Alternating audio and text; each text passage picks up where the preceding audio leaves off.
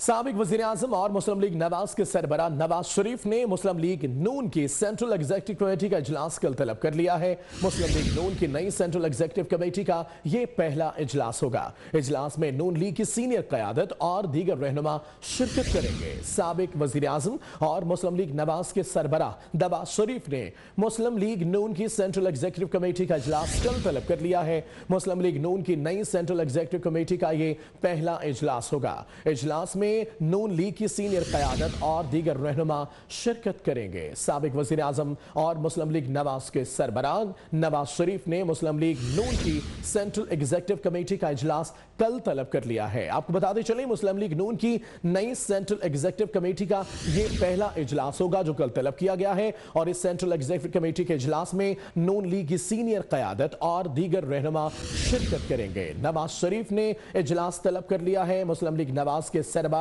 نواز شریف اور سابق وزیر اعظم نواز شریف مسلم لیگ نون کی سینٹرل ایگزیکٹو کمیٹی کا اجلاس کل طلب کر رہے ہیں اور مسلم لیگ نون کی نئی سینٹرل ایگزیکٹو کمیٹی کا یہ پہلا اجلاس ہوگا۔ اجلاس میں نون لیگ کی سینئر قیادت اور دیگر رہنما شرکت کریں گے۔ سابق وزیر اعظم اور مسلم لیگ نواز کے سربراہ نواز شریف نے مسلم لیگ نون کی سینٹرل ایگزیکٹو کمیٹی کا اجلاس کل طلب کر لیا ہے۔ اجلاس کی صورتحال کیا ہے؟ ہمارے نمائندے بشیر چودھری سے جانتے ہیں۔ بشیر چودھری، کل طلب کیا گیا ہے اجلاس؟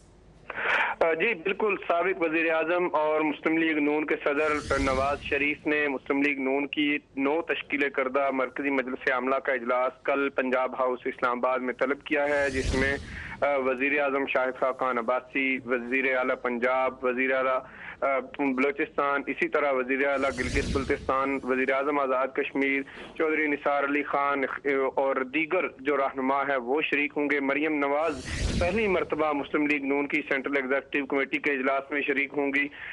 اس اجلاس میں ایک تو مسلم لیگ نون کی جو مستقبل کی حکمت عملی ہے، مستقبل کی سیاسی لاہ عمل ہے، وہ طے کیا جائے گا۔ اس کے ساتھ ساتھ شریف خاندان کے خلاف جو ریفرنسز اس وقت نیب میں موجود ہیں اس حوالے سے تمام رہنماؤں ہے اجلاس سے مطلب اپڈیٹ کر رہے تھے بشیر چودھری شکریہ آپ کا۔